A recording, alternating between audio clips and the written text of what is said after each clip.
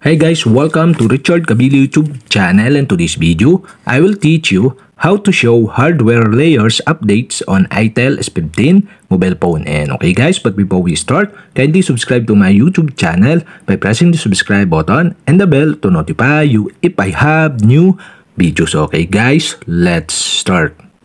So okay guys, here in your ITEL S15 mobile phone, you'll have to do is go to settings Here in settings, scroll down and go to system.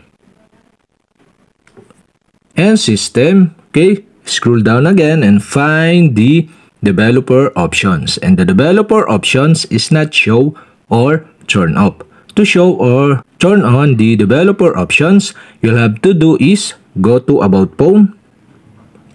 Here in about phone, okay, scroll down and go to build number. And okay guys, to show or turn on the developer options, you'll have to do is tap the build number 7 times. Okay? 1, 2, 3, 4, 5, 6, 7.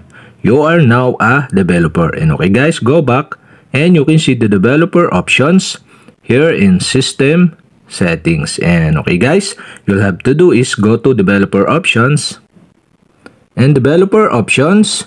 Okay, scroll down and go to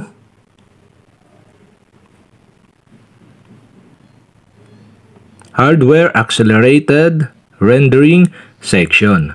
Here in hardware accelerated rendering section, you can see here the show hardware layers updates and on the right side of this you can see the switch button. And okay guys, to show hardware layers updates, you'll have to do is switch on the switch button on the right side. And okay guys, if this turn on, plus hardware layers green when they update. And that's it. Okay, you have successfully show hardware layers updates on ITEL S15 mobile phone. And okay guys, if you have a question, kindly comment below. And don't forget to hit the subscribe button and the bell to notify you if I have new videos. Okay guys, thank you for watching.